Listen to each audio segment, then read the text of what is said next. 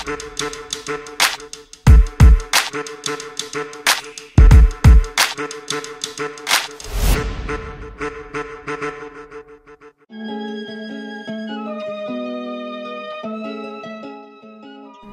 viewers, hari ini kami dari Rumah Properti, saya Debbie, Saya Tea. Kita akan review rumah yang ada di area Telaga Golf BSD. Area ini sangat dekat dengan CBD BSD yang pertama. Nah, luas dari eh, luas tanah dari rumah ini adalah 644 dan bentuknya ngantong. Luas bangunannya itu kurang lebih 800 meter, sudah memiliki 5 kamar tidur dan satu kamar eh, untuk kerja. Jadi rumah ini eh, sudah cukup nih untuk ruangannya sehingga tidak perlu lagi renovasi. Sekarang kita masuk lewat pintu ini home viewers. Ini pintu utamanya.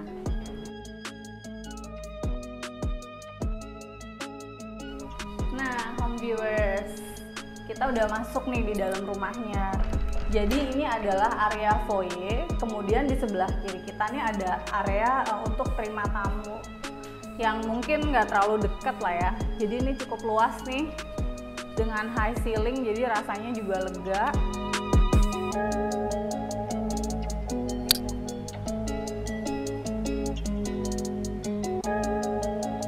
Rumah ini dilengkapi dengan eh, 5 kamar tidur dan juga satu ruang kerja yang cukup besar sehingga bisa juga digunakan sebagai eh, kamar.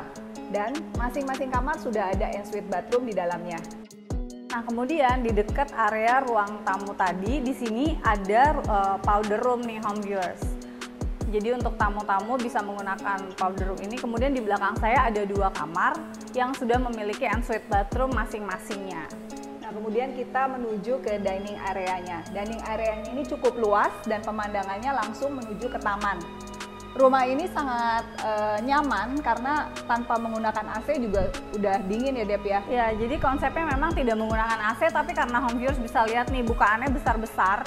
Jadi even kita di sini tanpa AC juga rasanya dingin. Terus juga karena mungkin lantainya Banyak sudah menggunakan marmer. marmer. Jadi ini rasanya memang adem nih home viewers. Kemudian kita ke area eh, ruang TV.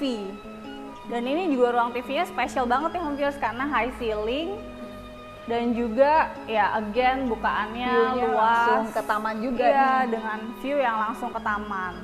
Nah, saya penasaran banget. Home viewers mau ikutin saya nggak liatin tamannya, Tamannya. ya? Jadi dengan eh, luas tanah 644 dan bangunan yang kurang lebih 800 ya. Halamannya sebesar ini home viewers karena posisinya juga ngantong nih. Jadi kelihatan ya luas banget nih halamannya tuh. Kebetulan pemiliknya itu menyukai ikan sehingga banyak kolam ikan di sini.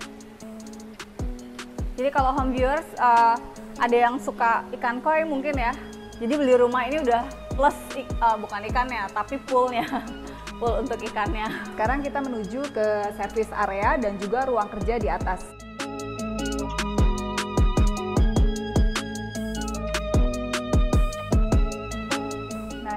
Service area ini eh, itu langsung connect sama garasi untuk dua mobil. Lalu di sini juga ada wet kitchen area nih home viewers. Nah wet kitchen areanya ini juga ada dua uh, arah nih ya. Kalau arah kiri saya ini ke arah service kamar pembantu dan kamar mandi pembantu. Kemudian kalau yang sebelah kanan sebelah kanan itu nanti uh, untuk menuju ke taman dan teras ruang keluarga. Nah, jadi semua service area ini eh, dia terpisah dengan eh, ruangan utamanya. Nah jadi juga konsepnya ruang kerja ini dari garasi bisa terima tamu nih home viewers jadi nggak perlu masuk ke rumah induk tapi lewat garasi langsung menuju ke arah ruang kantornya. Ruang kantornya itu cukup luas. Yang tadi kami sebutkan bahwa eh, ruangan ini juga bisa dijadikan eh, tambahan kamar di rumah ini.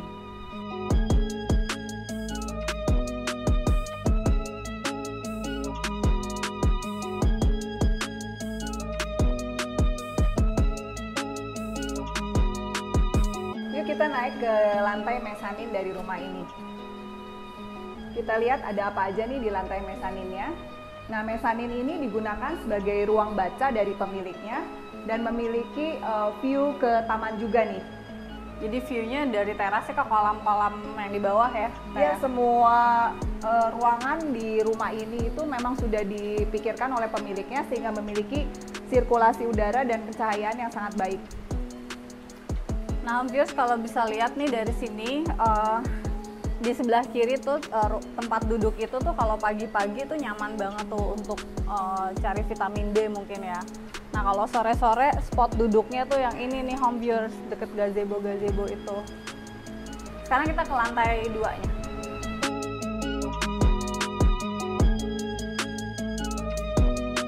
Sebelum kita menuju ke lantai dua, kita bisa lihat di atas ini ada skylightnya. Nah, ini uh, pencahayaannya itu menjadi sangat uh, terang sekali nih di lokasi ini. Jadi udara dan uh, cahaya benar-benar masuk nih dalam rumah ini nih home viewers.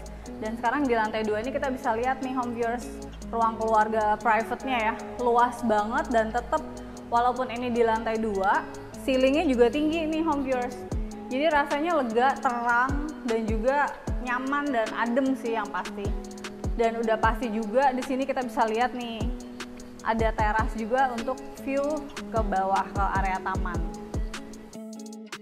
Sekarang kita menuju ke dua kamar yang uh, ada ensuite bathroomnya sebelum menuju ke kamar utama. Jadi semua kamar-kamar di rumah ini sudah memiliki ensuite bathroom. bathroom Nah ini kamar anak yang pertama nih home Nah kamar anaknya lumayan luas juga nih home views mungkin sekitar 5 kali 4 lah ya kurang lebih ya. Terus catnya warnanya soft blue gini. Terus area shower dan uh, toilet. Kemudian kita ke kamar satunya. Kamar ini juga uh, luasnya hampir sama dengan kamar sebelumnya dan juga memiliki ensuite bathroom.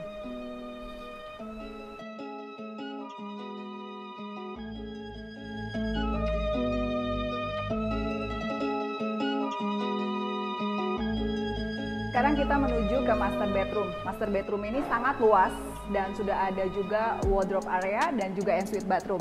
Yuk kita lihat. Jadi waktu kita bilang kamar utamanya luas nih bener-bener luas home viewers. Jadi um, begitu masuk nih ada area yang sekarang dipakai jadi ruang kerja juga nih. Jadi selain uh, untuk kerja, dia juga punya teras di sebelah kiri. Ya, sudah ada balkon menuju juga uh, ke luar view-nya ke halaman muka rumah.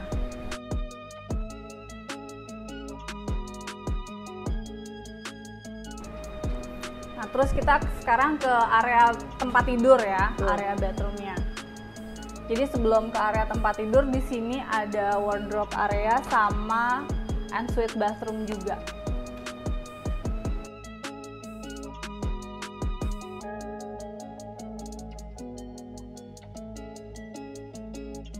Nah, master bedroom ini memiliki jendela yang sangat banyak nih, sehingga pencahayaan dan sirkulasi udaranya sangat baik. Dan juga luasnya ini nih sangat luas ya. Iya, luas banget nih home viewers. Benar, master benar. bedroom biasanya nggak sampai seluas ini iya, nih. Benar, mungkin juga karena luas tanahnya juga cukup Betul. besar ya. Nah, home viewers, gimana review kita hari ini? Nyaman banget ya rumahnya. Jadi selain nyaman, juga luas tanah yang sangat besar dan hijau jadi asri dan tenang banget jadi rasanya kayak liburan selain rumah ini kita juga punya banyak listingan lainnya yang bisa menyesuaikan dengan uh, budgetnya home viewers Nah, rumah ini itu juga hemat energi kelebihannya karena tidak memerlukan AC tetapi sudah dingin nih rasanya di dalam. Untuk informasi lebih lanjut, silakan hubungi kami. Jangan lupa like, subscribe, and share video kami. Ditunggu TJ-nya.